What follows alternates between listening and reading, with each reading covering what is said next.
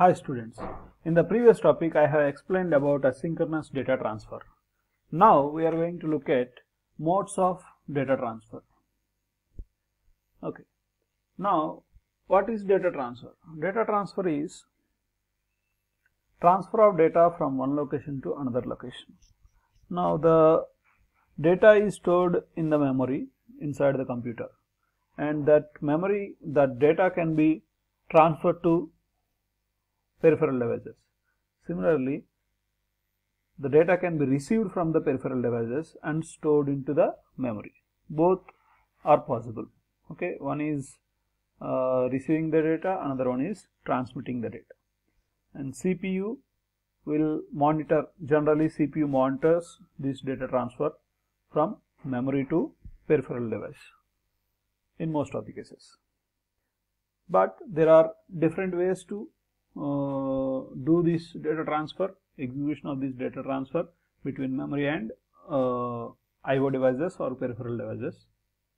Okay, here we are going to look at three different modes of data transfer. One is programmed input output data transfer, interrupt initiated IO data transfer, direct memory access data transfer. Okay, these are the three different ways in which the data can be transferred between memory and IO devices. Okay, so let us start with the programmed IO. Programmed IO means the data transfer will be initiated by an instruction that is executed in a program. Okay, so in this mode of data transfer, when the IO transfer instruction is executed, the CPU will uh, start the data transfer between memory and IO device and CPU has to monitor this data transfer continuously uh, until the data transfer is finished. Once the data transfer is finished then only it can do any other useful work. CPU is very uh, essential part of the computer and uh, in this type of data transfer, um, mm, CPU is being used for uh, less important work like data transfer. CPU is designed to execute instructions. If it is not doing that, that means it is being used for less important works. So data transfer is not intelligent. So data transfer can be supervised by anybody else. So, but in this programmed IO data transfer, CPU is being used to monitor this data transfer between memory and IO device. So this is the most inefficient method of doing data transfer. Let us go to second one, interrupt initiated IO. In the interrupt initiated IO, the data transfer will be started upon the occurrence of an interrupt from the IO device. Okay, in the previous case, uh, CPU has to monitor the IO devices whether they need to transfer the data or whether they want to receive the data. So that monitoring is a wastage of time. So that wastage of time can be reduced with the help of this type of data transfer, interrupt initiated uh, data transfer. So with the help of this uh, uh data transfer mechanism, the CPU uh, does not need to waste its time uh, while checking the IO devices whether they need any kind of data transfer. Uh, CPU will be doing its own work executing some kind of instructions or programs.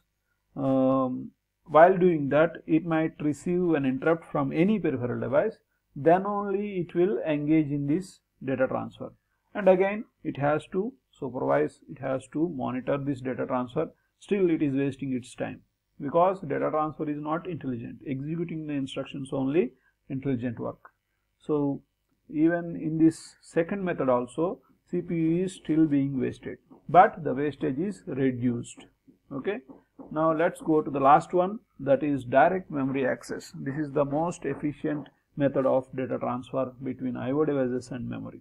Here the cpu uh, uh, allocates the resources uh, that are required for data transfer to an IO processor which will monitor the data transfer between memory and IO, uh, IO devices. So meanwhile the CPU will be uh, will, will not be doing any work. It will stay idle. Okay? That is better. Either it should execute the instructions or it should stay idle. It should not be doing uh, less important works. Okay? That is the concept of CPU usage okay either it should do uh, intelligent work or it should not do any work. But it should not engage in less important works. Remember this. Okay now let us look at uh, in this topic we will uh, look into these first two methods of data transfer in detail because uh, in the upcoming topics uh, we are going to uh, discuss about DMA in detail. So that's why we will not discuss about DMA in this topic. We will only look about look at programmed IO and interrupt initiated IO okay let's look at an example of programmed IO okay example of programmed IO data transfer. So this is the this is the setup required for programmed IO data transfer. Here is the CPU and this is the IO device. And in between this CPU and IO device we need an interface to communicate. Uh, in the second topic we have we had discussed about the need for interface there are many differences between CPU and IO device so interface is necessary. Okay and this interface is having a data register uh, to hold the data that is sent by either CPU or IO device okay and status register show, to show the status. Okay this status register will be having a flag and that flag could be either 0 or 1 okay and based on that 0 or 1 some kind of decision will be taken. Okay now look at the connections data bus address bus uh, IO control lines IO read IO write okay IO read means CPU will be receiving data from IO device IO write means CPU will be sending the data to the IO device. Okay, now look at the connections here. Uh, IO bus, data valid, data accepted. Okay, in the third topic we had discussed, uh, sorry, in the previous topic we had discussed about asynchronous data transfer. Uh, two types of asynchronous data transfer are uh, discussed. One is strobe controlled, another one is handshake. Handshake is more efficient and uh, secure way of data transfer, asynchronous data transfer. So this is the uh, handshake mechanism. We are in the in the strobe control, uh, the source unit and destination unit are using only two control lines, uh, where, whereas in this handshake method it uses three control lines. One is the bus for data transfer, another one is to indicate whether data is valid or invalid on the data bus, and the last one is acknowledgement. Okay, these are the three lines. Now let us look at a program written by, by the computer by the user uh, in the computer to uh, monitor this data transfer. Okay, it is a three-step procedure. First, it uh, the processor has to check the status register whether the it has to read the status register and then check the flag whether it is set or not okay and then read the data register if the flag is set if the flag is not set, it has to continuously read the status register to check whether IO device has sent any data or not. Okay. Here we are assuming that IO device is sending the data to CPU. Okay. And CPU is continuously checking the status register whether IO device has placed some kind of data into this data register or not. When this flag is 1, that means IO device has put data into data register and CPU has to collect it. If the flag is 0, that means IO device did not put any data into data register. Okay. So, in this uh, flow chart it is shown, but the author has mistaken in two ways, uh, two places. Here instead of read data register, they should be read status register because in order to check the flag bit, first you need to read the flag register, not the data register. This is a mistake. Please correct. Okay.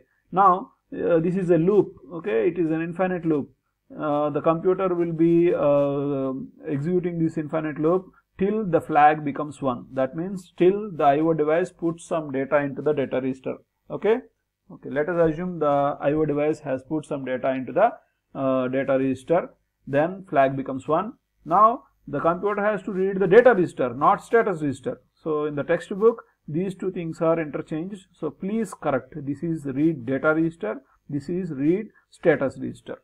Okay? So read the data register and transfer the data to memory. Operation complete. Agar complete ho gaya to go to uh, continue the program.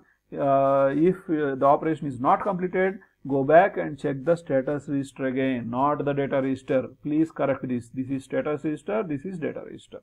Okay? So with the help of this flowchart the programmed IO data transfer will be monitored by the CPU this method is the most inefficient method of all the three methods. Now let us look at the second one. Second one is interrupt initiated IO so here no need to check the flags no need to check whether IO device are sending any data or not. The processor can continue with its program. Uh, that is the main uh, uh, intended work of CPU. Okay. Uh, if any IO device wants to send the data, it will just send an interrupt request. INTR stands for interrupt request. Upon receiving that interrupt request, it will suspend the current program and it will go to the address given by the uh, uh, address brought by that interrupt okay there are two types of interrupts. Uh, vectored interrupts non-vectored interrupts. Interrupts which are bringing address along with them are vectored interrupts and interrupts uh, which are having fixed address addresses they are called non-vectored interrupts. Whatever the interrupt it is uh, the pro the cpu will suspend its program temporarily upon the occurrence of this interrupt request. And then it will uh, service that uh, interrupt request and it will come back to the original program. So this is how it is reducing the use unnecessary usage of the CPU for the data transfer okay in the second mechanism. So second mechanism is better than first one but not the best. Third one is the best which will be discussed later. Thank you.